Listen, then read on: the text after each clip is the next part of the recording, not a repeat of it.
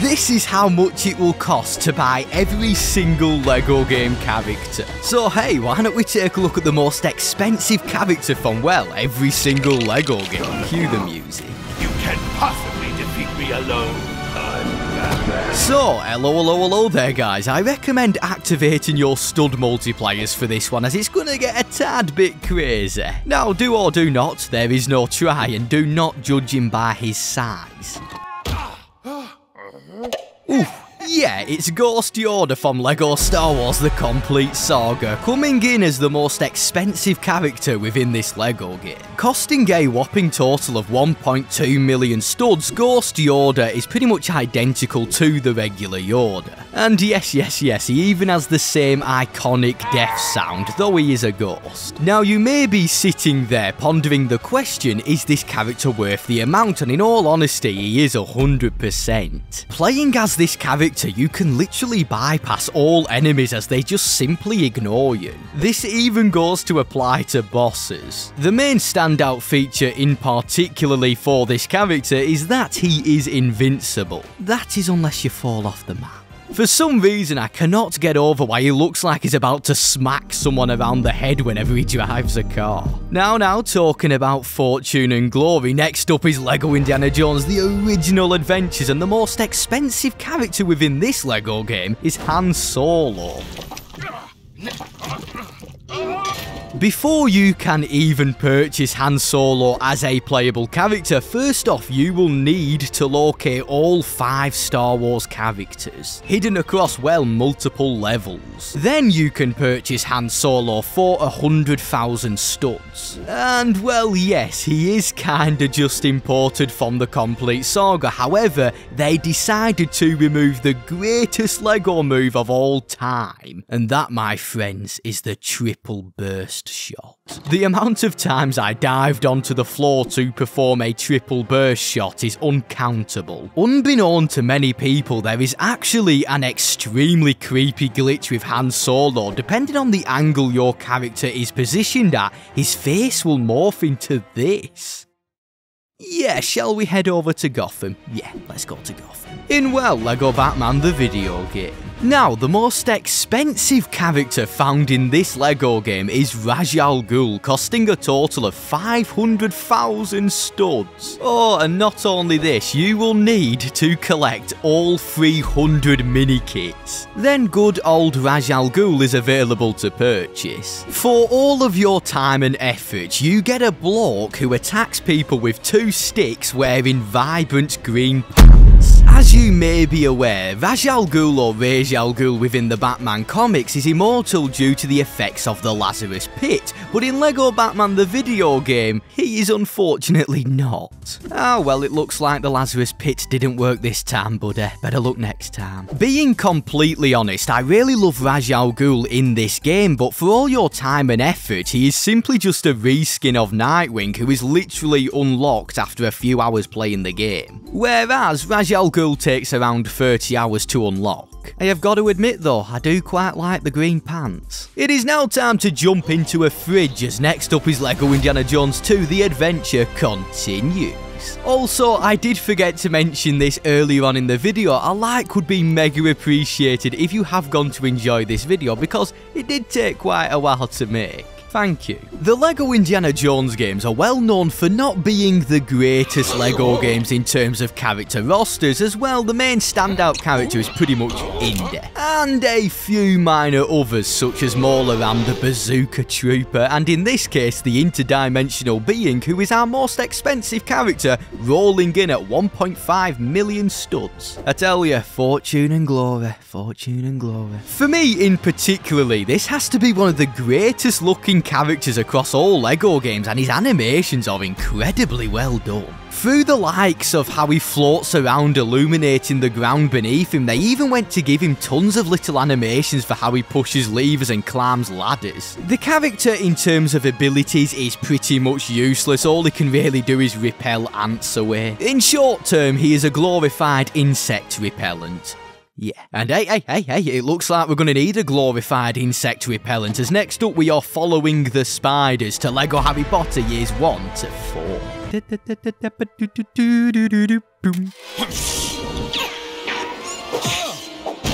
Oh yeah, that right there is our most expensive character. Well, what's left of him. Lord Voldemort is one of the most challenging LEGO game characters to unlock as you first need to collect 200 gold bricks, then you have to play a bonus level, then you have to head over to Madame Malkin's robes to purchase him for 1 million studs. In a regard, he is very similar to all of the other dark wizards in the game, the only real difference is he has a different coloured wand. But hey, hey, hey, the feeling when you finally unlock Lord Voldemort in this LEGO game is legendary. And I mean, you've gotta love his little laugh.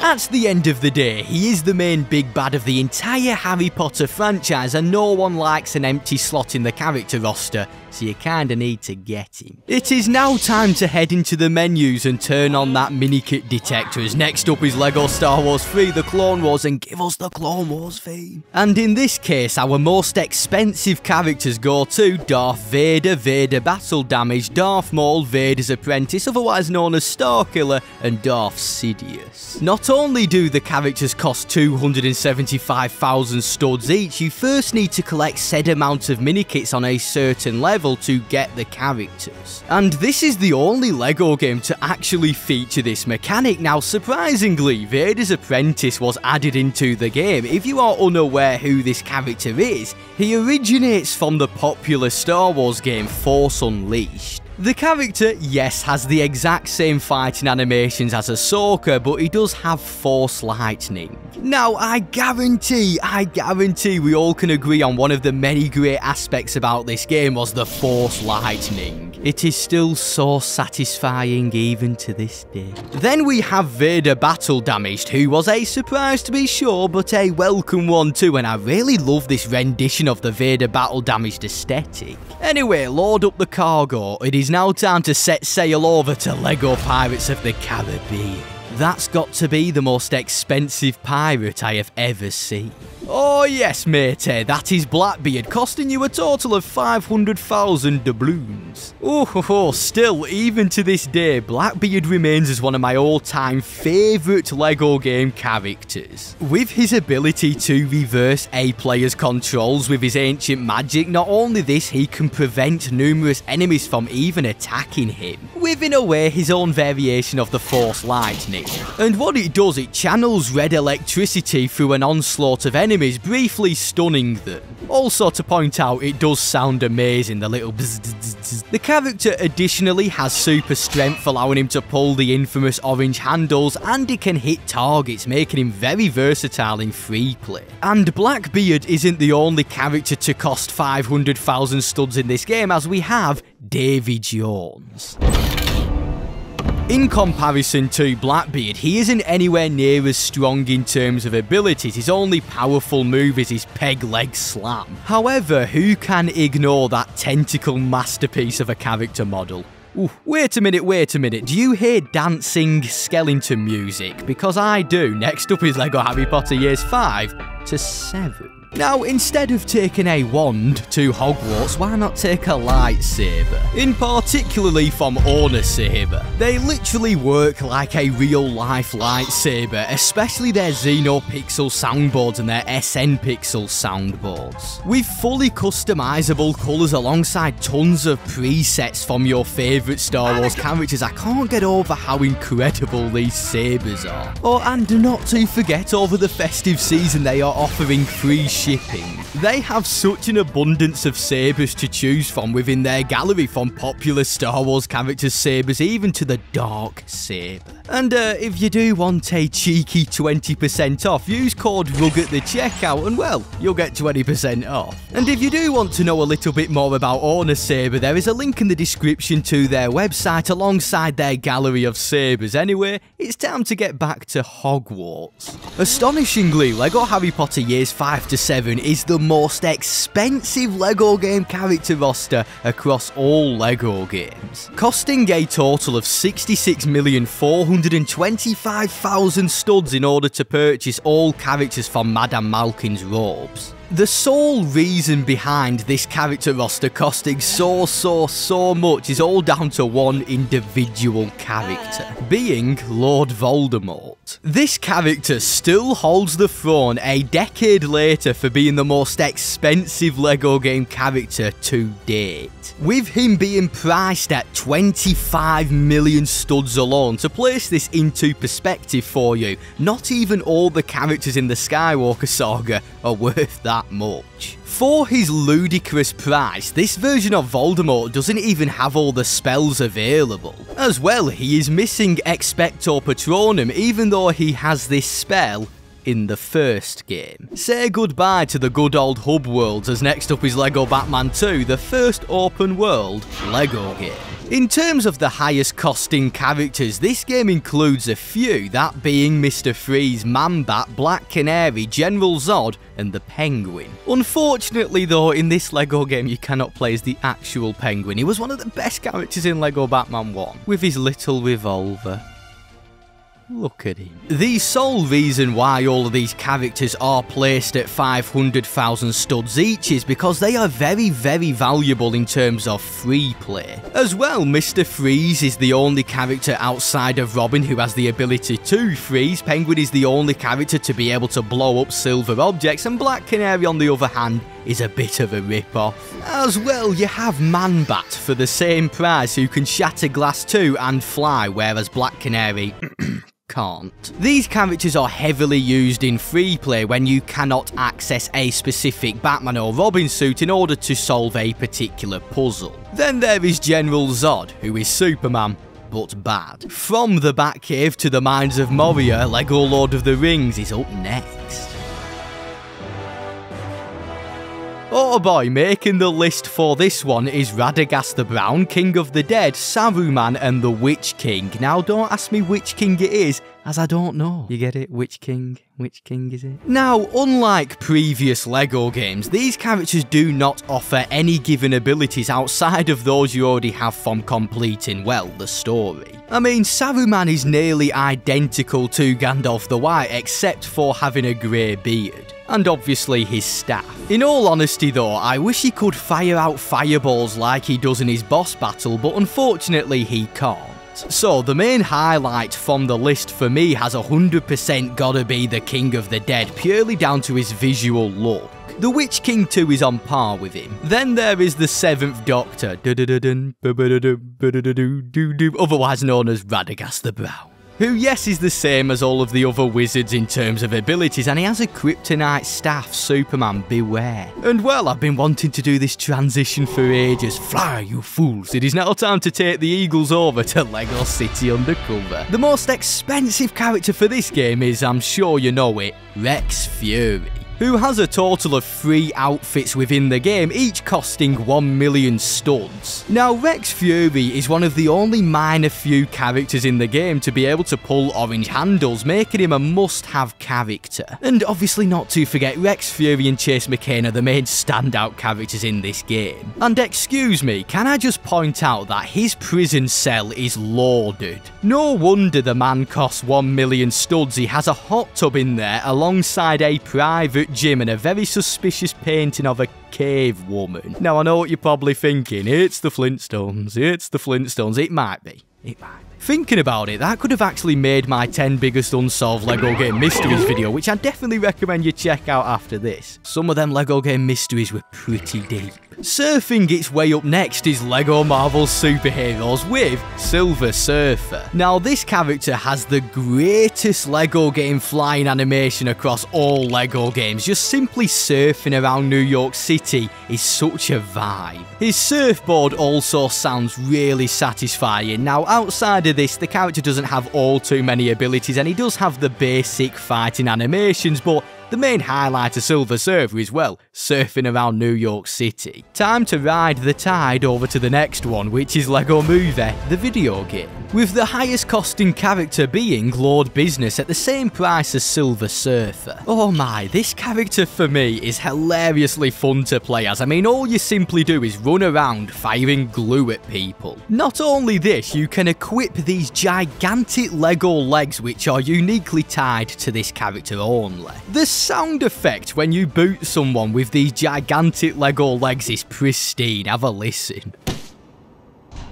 And yes, yes, yes, there is President Business who is the exact same price as Lord Business and he does nothing. To Dungeons Deep and Caverns Old, LEGO Hobbit is coming far over the Misty Mountains with Barrow-wight as our most expensive character. I have got to be honest, I was thinking the exact same as you. Who exactly is this character? Well, I did a bit of research and he's just a minor antagonist in The Hobbit sort of. The character only costs you 100,000 studs and he wields a small dagger and well that's about going for him. Personally it would have made more sense to maybe see Azog as the most expensive as Azog does have an instant kill attribute.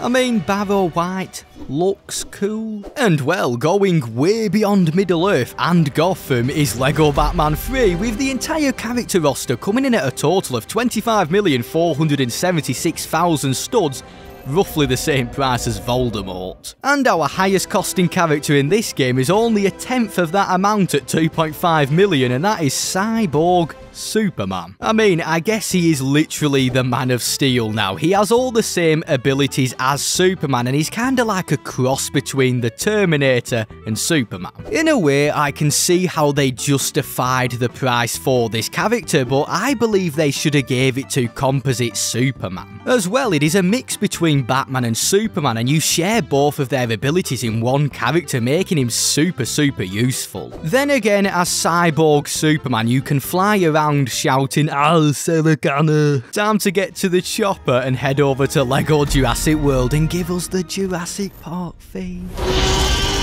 Oh yeah, the most expensive character within LEGO Jurassic World is Mr. DNA coming in at 500,000 studs. Mr. DNA, in a regard, is the mascot of this game and he actually is one of the most useful characters having many attributes, such as tracking, agility and target hitting plus many more. And across every single LEGO game we have not had a character like Mr. DNA since in terms of visual aesthetics. He really does have a standout design, making him one of the most memorable, iconic LEGO game characters. And oh my, look who it is. Oh yeah, time to go find that treasure as we are going to need it. LEGO Dimensions is up next. With this LEGO game being the only exception on the list, we are going to be looking at which LEGO Dimensions character costs the most amount of money. Due to most of the packs not being easy to find, LEGO Sonic tops the chart for being the most expensive LEGO Dimensions level pack which includes Sonic as a playable character, and Sonic is one of the fastest LEGO game characters. And how can you forget the amazing transformation between Sonic and Super Sonic? Oh, oof. Now, now, now, now, if you wanted to pick up this pack brand new, it will cost you around $150. I told you we'll need that treasure. Anyhow, back to New York it is with LEGO Avengers. You may argue this price is perfectly balanced as all things should be, coming in at 2.5 million studs. Is the Mad Titan himself Thanos. Now, this rendition of Thanos is based upon his end credit scene in Age of Ultron, when he, uh, you know, gets his gauntlet out of the washing machine. In terms of him being a big character, he is one of the only few to have the ability to build and melt golden objects. Though this may be my least favourite version of LEGO Thanos, with him appearing in all three LEGO Marvel games, however the other two are DLC. This being his comic version from LEGO Marvel Superheroes 1 and his well-known Infinity War version wielding the Infinity Gauntlet from LEGO Marvel 2. In this particular game, Thanos has a really strange fighting style. I do quite adore it. He kinda like backhand slaps everyone. Well, I mean, I guess he is inevitable. Yeah, to a galaxy far, far away, LEGO Star Wars The Force Awakens arrives with the Rancor roaring its way into the list at 500,000 studs. And hey, funnily enough, this was the first time in a LEGO Star Wars game we ever saw the Rancor as a playable character. Bearing in mind, obviously, the character is not accessible in many areas purely due to the size of him. Comparing this Rancor to the Rancor in the Skywalker saga, they both have completely different running animations. Also, to point out, the Rancor is actually the largest LEGO game character outside of characters who can transform themselves even larger, such as Fin Fang Foom and Anti-Monitor, plus the playable dinosaurs in LEGO Jurassic World. Outside of the Rancor being an absolute blast to play as just terrorising Jakku, he doesn't really do much. It's beginning to look a lot like Christmas as next up is LEGO Worlds. Ebenezer Scrooge is going to be a massive fan of this character roster, with it only costing a total of 1,500,000 studs to purchase all the characters. Out of the wide selection of LEGO characters such as Master Wu from Ninjago, Nexo, Knights, all of the monster fighters, the most expensive character is a carol singer at 20,000 studs. Oh, Christmas tree, oh, Christmas tree. Yes, if you're wondering, they do sing. Here, have a listen.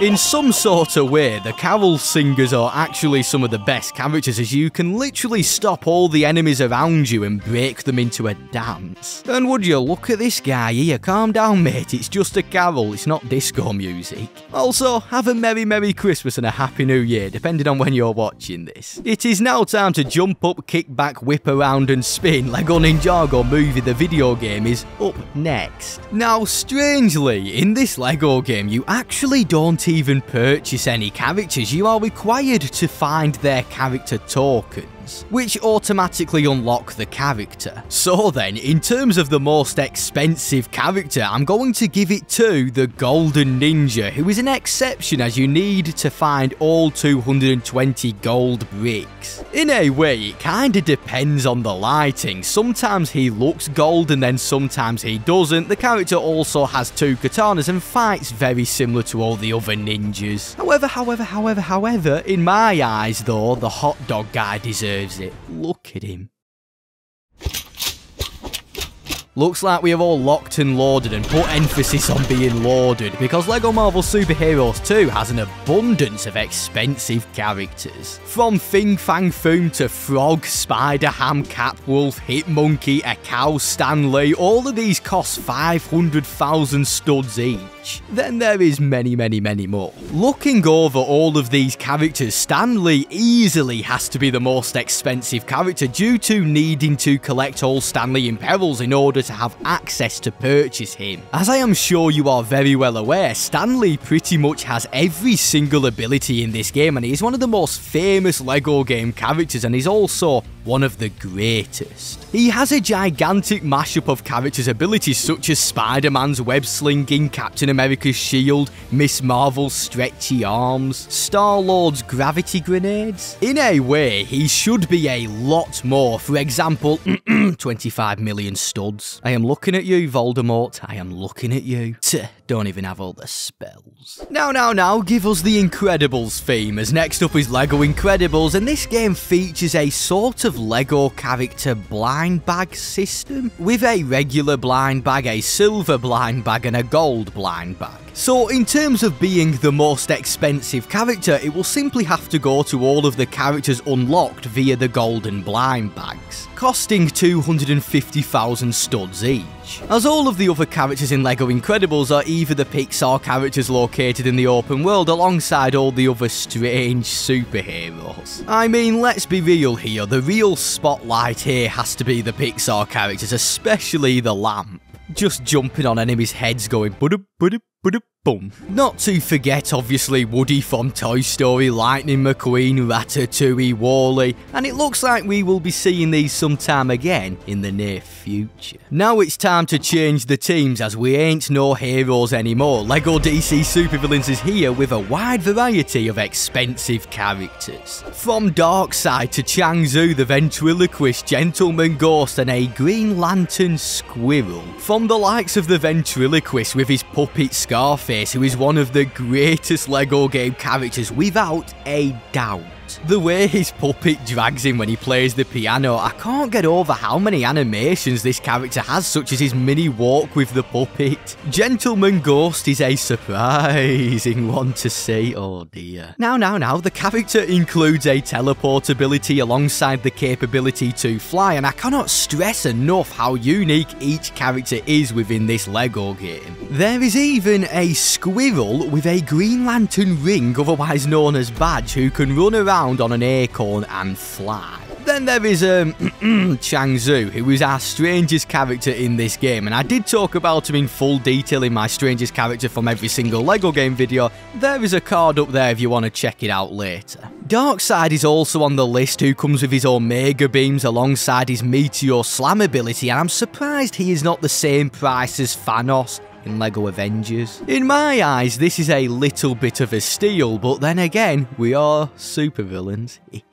Everything is awesome, and well, yes, it definitely is awesome, with LEGO Movie 2 up next, as this LEGO game is again drastically different to all the others, as there isn't a so-called most expensive character, so I'm going to place all the golden variants of the main characters here on the list instead. To have access to all of these characters, you pretty much need 100%, and they just simply work as cosmetics like all the other characters, unfortunately in LEGO Movie 2. I mean, Superman cannot even fly. With this being the case, hit the hyperdrive. LEGO Star Wars The Skywalker Saga is here with the most expensive characters being the Wampa, Jabba and Mama the Hutt, Babu, Frik and the Rancor. Hello again. With the Skywalker Saga's total character roster costing 25 million studs, no character exceeds over 500,000 studs. Notice how all of the characters fall under the extra class and the Rancor is a beast as discussed earlier on and Babu Frik is just too adorable. Hey hey! I mean, you've gotta love Babu.